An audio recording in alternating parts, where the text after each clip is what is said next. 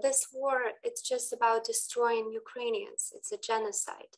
The amount of people they have killed, they have brought 40,000 bags with themselves. And we thought at first that those bags were for their soldiers. But then we found out that they brought portable, uh, portable crematoriums. And then we found out about Mariupol and Bucha and all the mass graves that they were doing. What was the intention of that? That is just a genocide. And I think it's very different for us Ukrainians and for people abroad, uh, like in US or in Europe. Is what is different is that for people abroad, it's just this one event. For most of the people, Russia invaded Ukraine on February 24th, and that's it. But for Ukrainians, it's a hundred years history. That's what Russians have always done with Ukraine.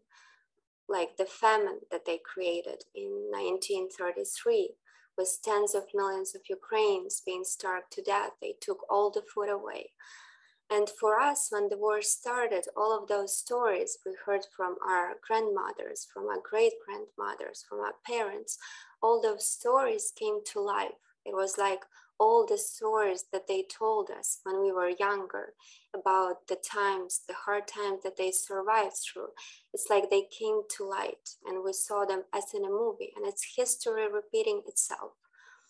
And they need Ukraine because they want to steal our history. They want to steal the history of Kiev Rus, of how we were founded, because they have this imperialist um, desire that they are trying to fulfill for centuries. And that's why they try to kill us, so we don't exist, and they do. So it's it's obvious to us, to us here, and um, and that's the feeling um, that I felt very strongly uh, when they invaded us in February. I felt that on my skin that they are here to kill me specifically because I am Ukrainian. I speak Ukrainian, and if they would come to Lviv, me and Roman would be their target number one because we studied in US.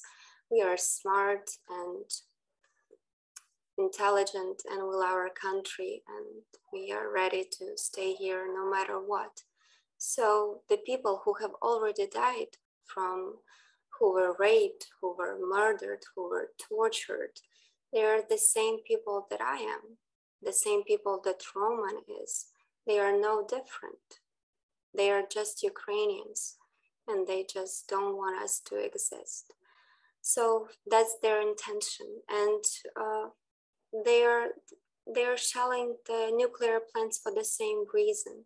That's their way to manipulate, to manipulate West, to scare, to have some some sort of control because they do not really have much control in the fields, but are soldiers, so they attack us from air, where we have little control. You know that after what happened, you you understand that there's nothing that they cannot do because they already done everything. Uh, and Yuliana mentioned very well the world, the word genocide.